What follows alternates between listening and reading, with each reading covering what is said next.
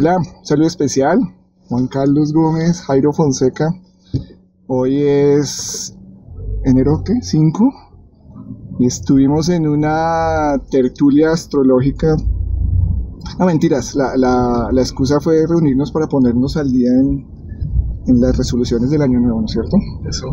Y terminamos haciendo una tertulia desde el punto de vista astrológico de, de, lo, de lo que este año se está presentando. Entonces, pues aprovechando que estamos así como medio inspirados en el tema mm, astrológico, pues queremos compartir una información referente a, a esto que se está viniendo ahorita, ¿no? Querido Juan, en cuanto a Saturno, Plutón, hoy es lunación en Capricornio, tenemos Luna, seis. Luna nueva en Capricornio. Sí. Pero además es que es una luna nueva con, con eclipse, ¿no? Es un eclipse parcial. ¿Y qué es un eclipse? Pues es donde está el nodo norte y nodo sur, ¿no? Entonces eh, tenemos que los eclipses son como momentos donde hay un antes y un después, donde hay situaciones de corte. Y en Capricornio, que es un signo de tierra, pues con Sol, con Saturno, por ahí, con Plutón, no, mejor dicho, ¿qué año? Bueno, ¿y eso cómo lo podemos... ¡Wow! En ese atardecer. ¿Eso cómo lo podemos de alguna forma medio manejar? O sea, en esencia, o sea, los 15 grados de Capricornio. 15 Entonces, grados de Capricornio. entonces que afecta, no, no, no pongamos el término de afecta, eh, tiene relevancia los planetas que están ubicados en signos cardinales, Aries, Cáncer, Libra. Capricornio, ¿sí? entre los grados eh, ¿qué, 10, qué árbol le da? ¿10 a 20, más o de menos? 10 a 20, sí, para darle un orbe de 5 grados. O sea, si tenemos ahí planetas personales, llámese planetas personales, Sol, Luna, Mercurio, Venus y Marte, entre 10 Entre, los, entre 10 grados y 20 grados de, ca- de cualquiera de estos cuatro signos cardinales. Entonces le tenemos que poner atención a... pues genera más acción, ¿no? Eh, a ver, un eclipse, ¿qué pasa con un eclipse? Digamos, a nivel social, cuando hay un eclipse, pues todos los medios se ponen a, hablar del eclipse, uno encuentra en las noticias. Eh, cuando haya un eclipse total de sol, pues eso se paraliza a todo el mundo a tratar de ver el eclipse, que se compran las gafas, en fin.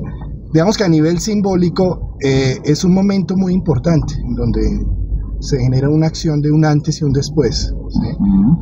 Eh, una luna nueva o un eclipse con luna nueva es iniciador, es semilla, ¿sí? No queremos decir que hoy se va a estallar pues toda la situación, pero si hay hoy una situación o un- una semilla o una idea o una discusión o algo que genera un movimiento de aquí a seis meses que lo vamos a ver reflejado en seis meses.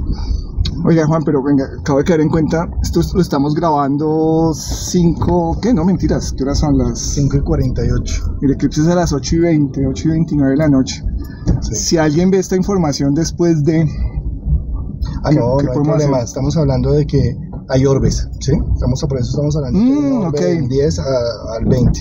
Ok. Y más o menos el eclipse se, se ha empezado a sentir desde, yo Ayer. diría que desde hace unos cuatro días, con situaciones que se están plantando desde hace cuatro días y que las veremos también plantándose por otros cuatro o cinco días más adelante. Ujú. O sea, no, no es una situación puntual. Además, se puede plantar de manera inconsciente, no necesariamente tiene que ser un evento visible, concreto. ¿sí?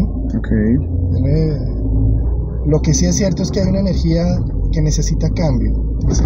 Como se da en signos de tierra, los signos de tierra se miden por hechos, no se miden por ideas, por emociones, se miden es por acciones. Eh, y pues como tendemos a Saturno, a Plutón y al Sol y a la Luna en Capricornio, pues hay una necesidad de generar unos hechos muy concretos. Entonces, tal vez eh, es un momento de pensar en si las cosas que hemos estado haciendo por tanto tiempo, por rutina, por zona de confort, por, por estar teniendo un status quo, por tratar de tener a todo el mundo contento, si será un momento ya de hacer el cambio que necesita nuestra alma interna. ¿sí? Eh, Wow. entonces es un momento más bien como de, de reflexión en ese sentido y de reflexión en, en- en hacer situaciones que generen cambio, que generen hechos, no, no, que, no que queden en el mundo de las ideas y del pensamiento. ¿sí? Con Plutón, Saturno, que vamos a tener eh, una conjunción exacta en el 2020, pero que desde este año 2019 ya se siente profundamente. Sí, se siente profundamente el tema. Eh, hay una necesidad, Plutón tiene una necesidad de transformar, de regenerar, de dejar morir lo que tiene que morir para dejar nacer lo que tiene que nacer. Dejar ir el que se tiene que ir o la que se tiene que ir para que llegue el que tenga que llegar. ¿sí? ¿Usted un poco a pareja? Pues la, sí, por ahí, por ahí me fui por pareja, pero de la misma forma podríamos hablar de dejar ir una empresa que uno nunca quería dejar de ir, pues dejarla ya, cancelar. ¿sí? O una estructura de valores. Una estructura de valores, o sí, en general eso se puede aplicar a muchos ámbitos, no, solamente al, al, tema de pareja. Lo que pasa es que, ¿por qué hablo también un poco del tema de pareja? Eh, Capricornio y Cáncer eh, son, mm. son los símbolos de o la familia, la unión del familia, llámese familia dos, tres o cinco personas, y lo social Capricornio, ¿sí? Entonces eh, es un eje que tiene mucho que ver también con lo cardinal. Aries, Libra, que también es lo personal y la pareja, ¿sí? sí, Libra, Libra es pareja, ¿no? Sí, personal y pareja, sí. Personal y pareja. Oh, excelente, excelente. Entonces, si tenemos planetas personales ahí, se siente más con planetas, ¿no? Que con cúspides. O... Yo, yo, yo pienso que los planetas son, son los verbos de la carta astral, ¿sí? Entonces los planetas son como las, los, los dioses internos que tenemos y que se expresan en el mundo de distintas formas.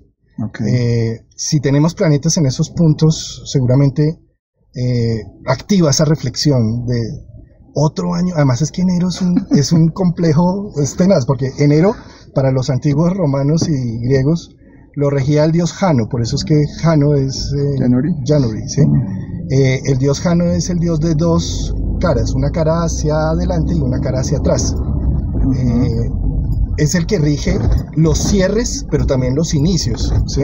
Entonces, a esta conjunción con eclipse le sumamos el tiempo que está sucediendo en este instante, que es enero, que es una necesidad de los proyectos, los inicios. Estamos en esta semana en donde todos hacemos resoluciones. Nos estamos pensando. Hoy me llegó un meme que decía, ya me empecé a frustrar el año. Mi primer, mi, mi, mi, primer sueño que era ir al gimnasio y está cerrado. Entonces es, es, es, un momento como de reflexión en ese sentido, en qué voy a, a qué le voy a apuntar en este año. ¿sí? Mm. Y a eso le sumamos pues Saturno, Plutón y Luna y Sol en Capricornio es como una necesidad de hacer algo más concreto. ¿sí? Okay.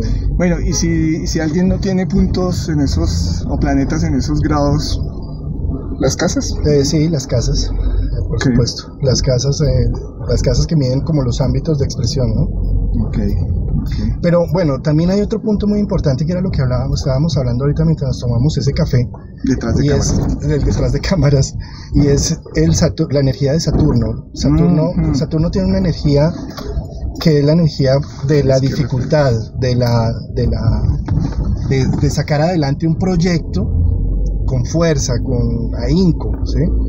Eh, y, estábamos precisamente hablando como en una sinastría de cartas, o sea, cuando uno une dos cartas natales y se miran los planetas que están de, la, de una persona sobre la otra, que en las sinastrías uno de los factores más importantes es Saturno, porque Saturno es el que genera ese punto de dificultad que hace que la relación no sea solo una mermelada que no genera más sino un dulce sabor y no una acción más concreta hacia el futuro.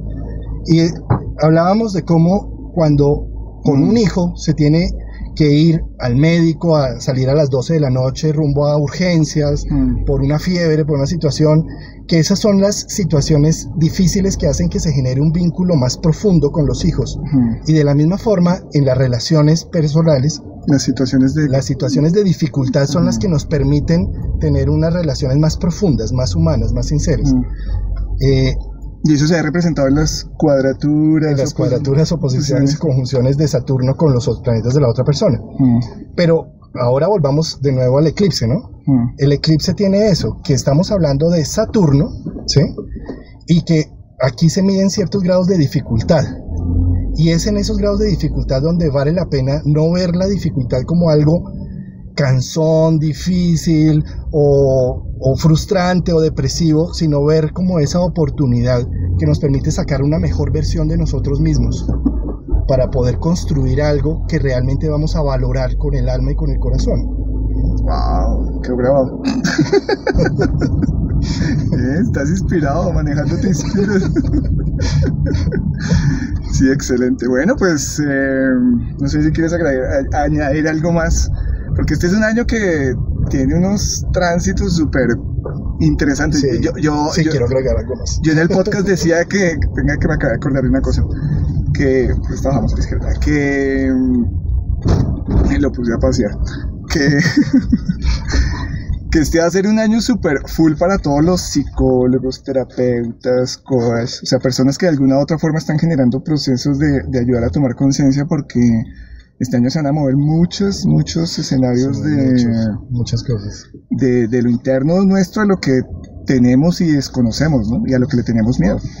Sí, eh, yo, hay un, hay un, es que mira, Jairo, tenemos todos estos planetas en este momento haciendo una conjunción nodal en Capricornio, pero también tenemos la entrada de Urano en el signo de Tauro, que es el, el signo más fijo de Tierra, ¿sí? saliendo de Aries, entrando a Tauro. Mm. Va a entrar más o menos en marzo de este año mm.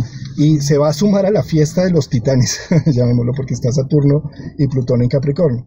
Entonces, realmente viene todo un proceso de renovación, son siete años de Urano transitando por Tauro en donde viene a ser un proceso de cambio, cambio en los valores, cambio, cambio en lo que sentimos que nos da seguridad, solidez, mm. cambio en lo laboral también seguramente. Mm. O sea, eh, un revolcón de, de, lo que hemos venido haciendo, no es por ahí. sí, es correcto. ¿Qué era lo que ibas a agregar? ¿Era eso? Sí, de Urano. Eh, con Urano en, entrando Tauro, yo creo que lo mejor es, la disponibilidad que hay que hacer, cómo hay que hacerlo, ¿sí? Y no centrarse uno en una posición estática eh, a seguir viviendo lo mismo que se ha vivido los muchos años atrás, sino este es un momento de tener una mente abierta, de, apertura de mente y de corazón. Bueno, pues una pequeña reflexión que nos nace compartir a, a propósito de una casi dos horas estuvimos haciendo tertulia. Bueno, esperamos que esta info les, les pueda ayudar de algo en, en, estos procesos tan interesantes que, que, estamos viviendo como colectivo y a nivel individual cada uno con nuestras cartas. Entonces, un abrazo, gracias, hasta una próxima y gracias Juan. Por... mira mucho la cámara. gracias por compartirnos esta info. Bueno, un abrazo. Chao.